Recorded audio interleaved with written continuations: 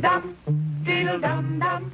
There was a turtle by the name of Bert, and Bert the turtle was very alert. It happened this week. The passing of a little known man behind a well known Cold War artifact. He did what we all must learn to do. Duck and cover.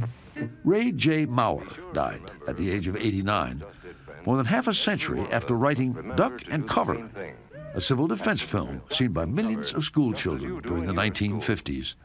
We all know the atomic bomb is very dangerous. Using Bert the Turtle as his model, We must get ready. Duck and Cover told kids how to protect themselves It's a bomb. Duck and cover. from a nuclear attack, no matter where they might be. Here's Tony going to his Cub Scout meeting. Tony knows the bomb can explode any time of the year, day or night. He is ready for it. Duck and cover.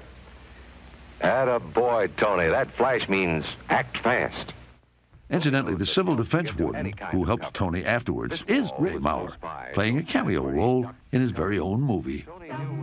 We must be ready every day, all the time. Though it's easy to laugh at Duck and Cover now, the fear that spawned it was very real, and so is the place the film earned in our popular culture. In fact, Duck and Cover was inducted into the National Film Registry in 2004, Remember what to do, friends. a year some of its original viewers were afraid they'd never live to see.